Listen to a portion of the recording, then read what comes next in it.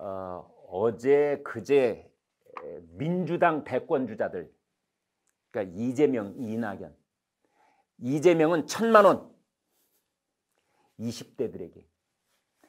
지난번 4월 7일 서울 부산 보궐선거 결과 민주당이 참패를 했는데 그 원인을 분석을 해봤더니 이미 여러 차례 말씀드린 것처럼 20대 들이 완전히 등을, 등을 돌렸습니다. 그래서 지금 민주당의 대권 주자들은 어떻게 하면 등을 돌린 20대들을 다시 민주당 쪽으로 돌아앉게 만들 수 있느냐 여기에 아주 애가 달아 있습니다. 그래서 이재명 경기지사가 이렇게 말했습니다. 돈의 고졸 청년의 취업을 지원하기 위한 업무 협약식에서 대학을 안 가는 청년들에게 세계 여행비 천만 원을 지급하면 어떤가? 대학을 안 가거나 못 간 고졸 출신 청년들에게 생활 지원 자금이 아니고 세계 여행비로 천만 원씩.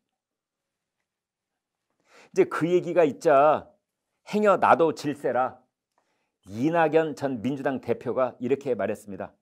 어, 군 가산점 제도 부활 뭐 이런 얘기가 나오자 거기에 대해서 군 가산점보다는 제대 후에 3천만 원의 사회 출발 자금을 장만해 드렸으면 좋겠다.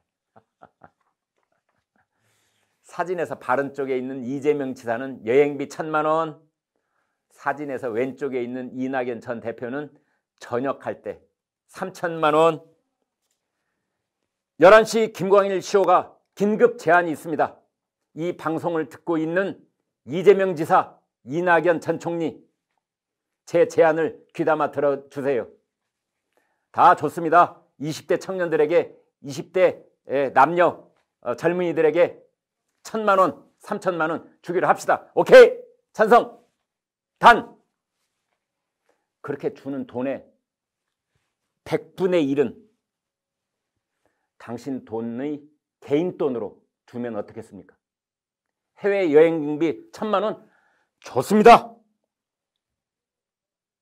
그 중에 10분의 1도 아니고 100분의 1, 10만 원은 이재명 지사님 당신의 돈으로 그렇게 함께 줍시다. 3천만 원, 아 좋습니다.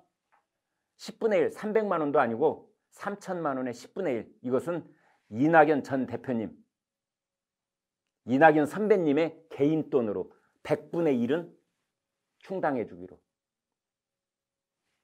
그래서 경기도에 있는 청년 만 명에게 천만 원을 주면은 천억쯤 되네요. 천억쯤?